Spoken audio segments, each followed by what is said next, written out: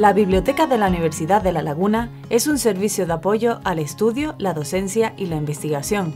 Está organizada en 14 puntos de servicio que se corresponden con las diferentes escuelas y facultades, así como la Biblioteca General y de Humanidades. Ofrece servicios presenciales y servicios online a través de su página web y cuenta con diferentes canales de comunicación. La Biblioteca de Química y Biología se conformó como tal en 2004, al unirse los fondos de Química y de Biología en un mismo espacio.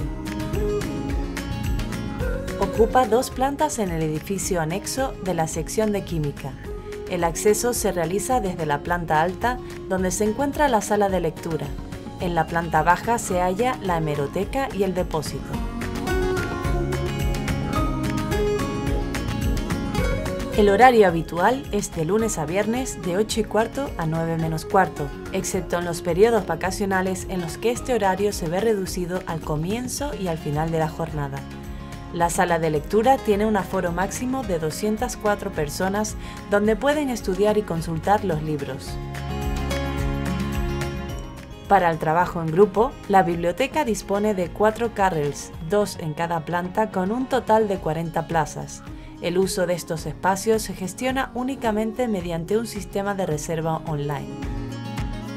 El fondo bibliográfico está formado por unos 642 títulos de revistas y unas 26.110 monografías.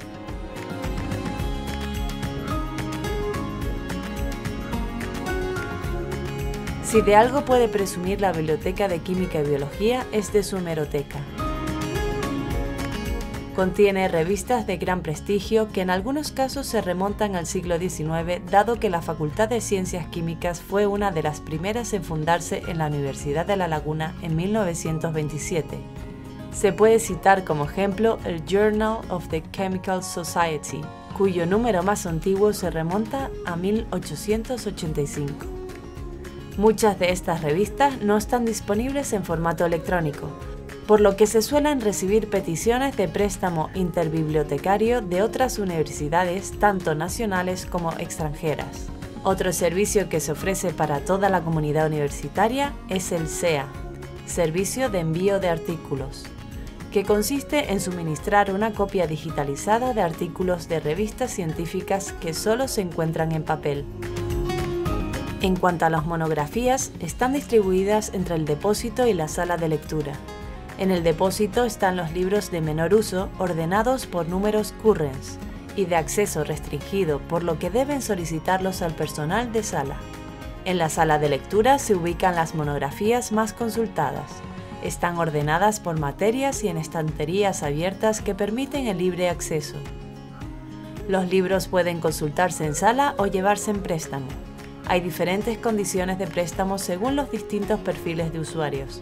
El alumnado puede retirar hasta 7 libros de préstamo durante 15 días y se puede realizar dos renovaciones de cada préstamo a través de la página web.